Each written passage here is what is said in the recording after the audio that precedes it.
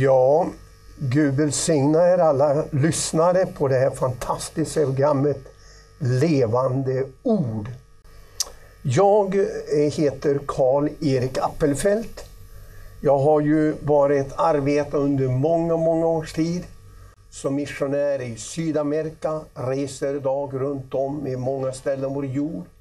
Och det är fantastiskt att se hur Guds rikes utbredande till läkedom, till upprättelse för människor går som en präriebrand över hela vår jord. Och eh, det är fantastiskt att höra vittnesbörd hur Kristus upprättar. Det är ett ord som jag tänker på, som står i Johannes 2. Det står att det första tecken som Jesus gjorde i Kana Galileen, han uppenbarade sin härlighet. Och hans lärjungar trodde på honom. Vad Jesus många gånger gör, är att han gör ett tecken. Han uppenbarar sin härlighet. För vi ska förstå och vi ska få tro till honom. För han älskar oss så mycket. Och det är ett underbart vittnesbörd som eh, en mycket god vän till mig, som jag är mentor för också. En Thomas Warringer, som Gud har tagit, som sitter här med mig i studion. Som Gud har tagit ut och har gjort ett fantastiskt helande under i hans själsliv. Jag menar synden bryter ned våra själsliv, bryter ned oss så fullständigt så att vi är ingenting. Men då Kristus började, då började en process. Och det är det som Gud har gjort i Thomas.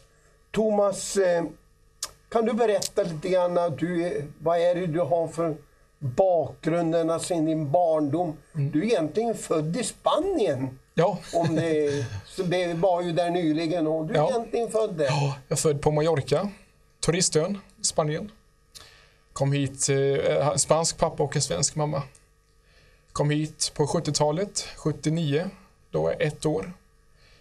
Eh, min pappa var missbrukare, alkoholist. Drack varje dag och han misshandlade både min mamma och mig. Så allt den här den här såren och de här skadorna, det började redan i din barndom? Ja, det började då när jag blev misshandlad. Det började då liksom att komma mycket sår och olika, mycket fruktan och rädsla och allt möjligt. Du kunde aldrig tänka dig då du var en liten pojke och hade aldrig hört talas om Jesus då för dig? Nej, precis. Jag hade ingen aning liksom om vad skulle hända i mitt liv. Så kom jag till Sverige 79 men eh, min mamma kunde inte ta hand om mig. Nej.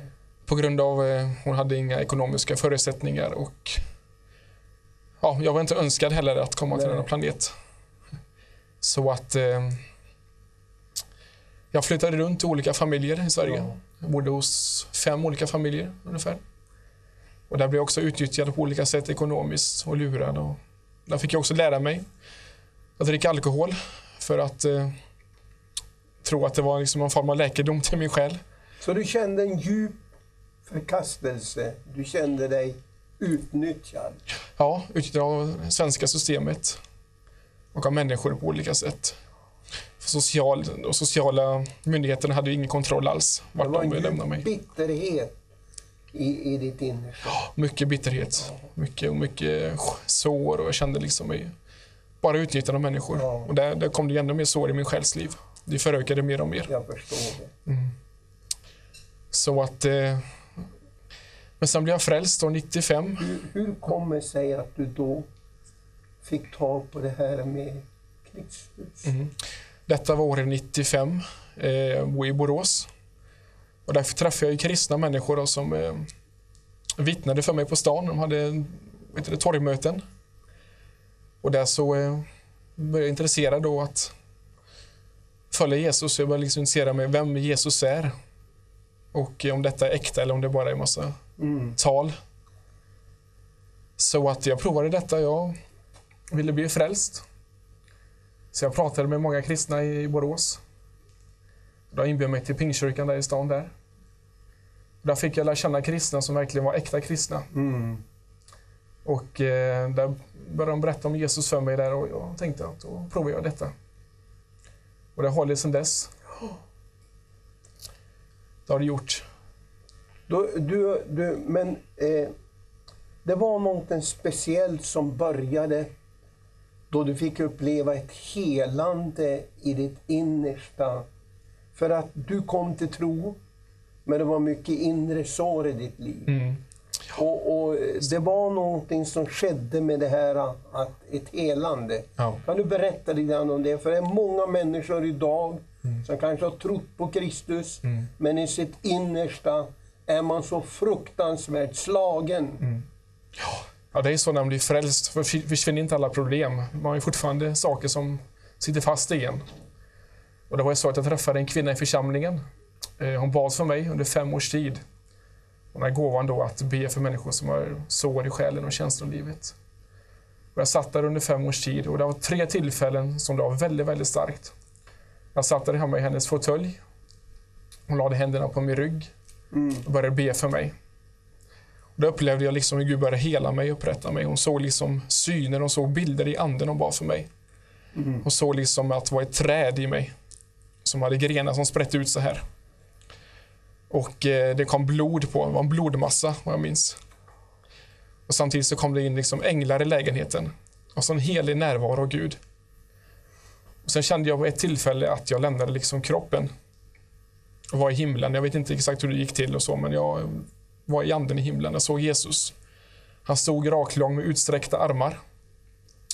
Och eh, så han talade till mig och så vidare att jag är din läkare. Och jag såg mig själv ligga på ett operationsbord i en fysisk bild. Så såg jag liksom läkare som opererade i mig. Det var ju änglarna. Så att eh, det var där det började. Och så såg jag liksom demoner i mig, eller hon såg demoner i mig, hon som bad för mig, som såg ut som grodor. Och hon bad och hon sa i Jesu namn försvinn, så försvann de här eh, demonerna som såg ut som grodor. Så att det var väldigt mäktig kraft. Mäktig Guds närvaro. Då du, jag tycker det var så fantastiskt då du berättade här, då hon bad för dig, Mm. så började den Guds härlighet uppenbaras över ditt liv. Ja. Som jag förstod, då, Gud, då du såg Jesus, då Guds härlighet, då kom läkedomen. Mm. För läkedomen är att vi får syn på vem han är. Mm. Det är ingen teknik. Nej. Det är inget nu ska jag prestera, nu har jag gjort. Nej, precis. Utan det är att se seendet av vem Jesus är. Mm. Det är det som är läkedomen. Ja, det är läkedomen. Det var ju så att eh, den här kvinnan var som du säger Karl-Erik, hon var ett redskap för Ja. Guds ande. Och eh, det är så att vi alla har gåvor i församlingarna som vi pratade om Ja. på vägen hit. Och eh, hon hade den gåvan då, själavårda. Precis. Och då kände jag liksom att Gud lagt den gåvan också i mitt liv. Så att eh, när hon bad för mig så kände jag att det hände saker. Jag såg ju också, kan jag berätta Karl-Erik, Ja. jag såg ju eh, min framtid. Jag liksom reste i anden. Så jag såg mig liksom resa till olika länder och predika evangelium då. Inte minst i Spanien då. Som jag har väldigt stort hjärta för. Och i olika länder i Europa och även i Sydamerika. I, vad var det, i Peru, Brasilien, Argentina, ja, med fler länder och även i Afrika då.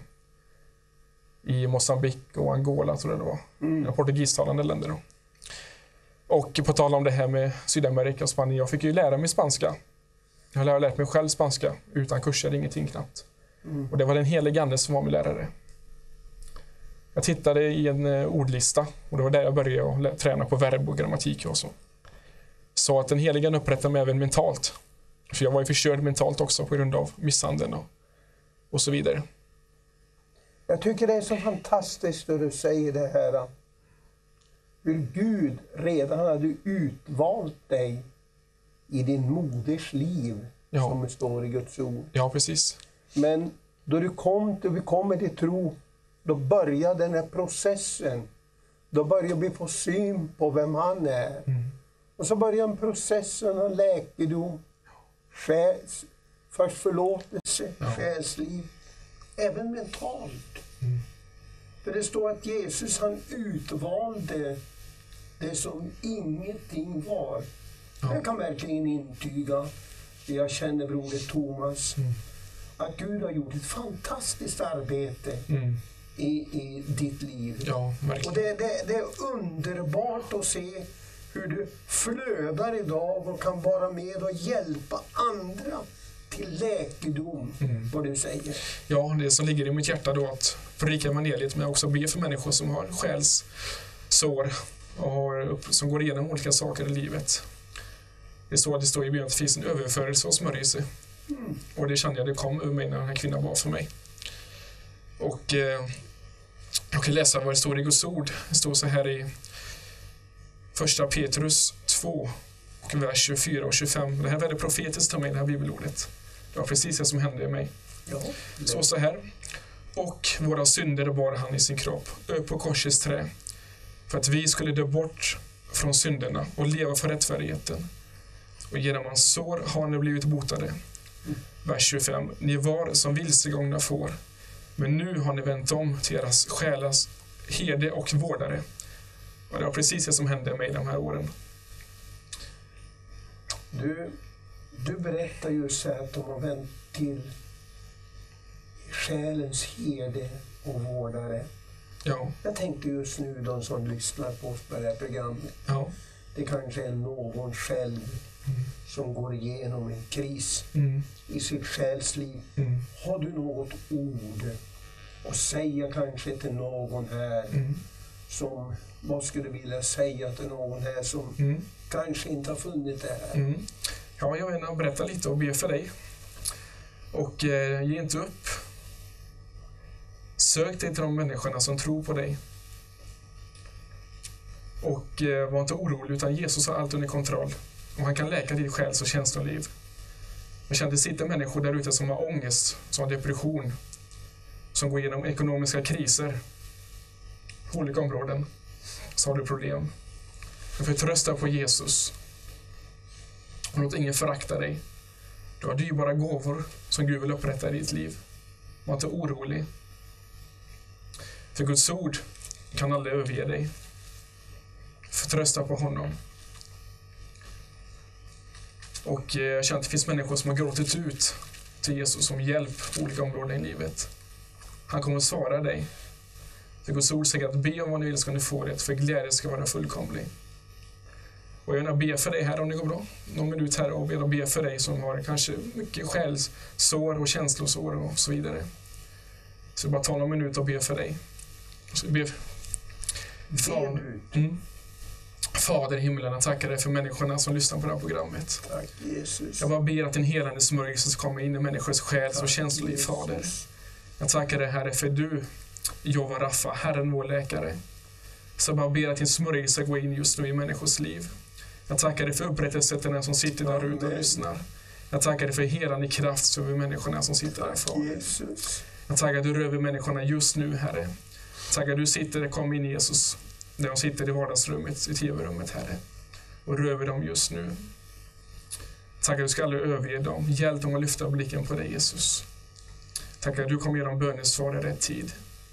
Jag prisar dig, Fader. Jag tackar dig, Herre, för det, Gud. Välsigna henne, välsigna han som sitter där, välsigna barnen som sitter och lyssnar också på detta. Ungdomarna. Jag ber om det, Fader, i Jesu Kristi mäktiga namn. Amen. Hörru du Thomas, jag måste säga dig en sak att man blir verkligen gripen då jag hör och förstår att det här är en, ett verk som är verkligen fött av Gud. ja, Och jag, jag vet ju hur den kontakt du har fått med många andra mm, och, och det välsignat vilken frukt det bär mm, då Kristus får göra ett verk i våra liv. ja, och jag känner också du som lyssnar på det här programmet. Du är slagen. Och det är många som kanske inte har trott på dig. Du känner dig, varför? Men jag ville berätta en sak för dig. Att just du är så dyrbar. Ja, du är skapad av Gud till hans ögonsten. Och det är just detta som det står i första Korinthierbrevet. Du Guds dårskap är visare än människor och Guds svaghet är starkare än människor. Mm. Människor försöker och vill vara visa, men det blir dårskap. Mm. Du talet om korset, det är en dårskap för den som går förlorade. Men för oss som blir frälsta är det Guds kraft. Mm. Alltså, läkedomen börjar då vi omvänder oss. För först och främst säger Bibeln, var och en vill gå sin egen väg. Synden är vårt uppror emot Gud som vår skapare och vi vill sätta oss främst. Vi vill bli den främsta istället för Kristus. Mm. Men vi är skapade till Guds avbild. Gud blev människa. Och genom att han blev människa och blev gjord till förbannelse. Han föddes utan synd, blev lydig till döden. Och Gud har väckt Kristus från de döda. Så genom Kristus kan vi komma inför Guds närhet. Annars skulle vi bli en askhög om vi såg Guds helighet utan Kristus. Då vi kommer genom Kristus då blir vi förvandlade. Vi blir försonade. För Kristus är vår försonare. Vi blir upprättade. Det var det som skedde i broder Thomas liv. Han fick erfara försoningen, Mm. läkedomen. Och det är därför jag ska säga till dig en sak. Du är kallad före världens grund var lagd. Så Bibeln säger att Gud känner dig vid namn. Och därför, precis där du är, bara öppna ditt hjärta och säg Jesus, nu lägger jag ner min egen framtid. Allting. Ta hand om mitt liv. Du beslutar. Det har börjat ett nytt sken i ditt liv. Gud välsigna dig som har lyssnat på det här programmet. Och jag vet att du är värdefull. Tusentals människor, miljoner över hela vår värld erfar detta dag. Överallt så ser vi hur evangelium går fram. Människor blir upprättade, befriade, demonbesatta blir satt fria, dödsdömda blir helade. Och jag ser detta överallt. Så det här för, det är ingen teori. Det är ingenting som man hittar på själva. Utan det här är Guds kraft. Ty- Det är, korset är Guds kraft som uppenbaras till frälsning till helande för var och en som tror. Tack ska du ha, du som har lyssnat och Gud välsigna dig.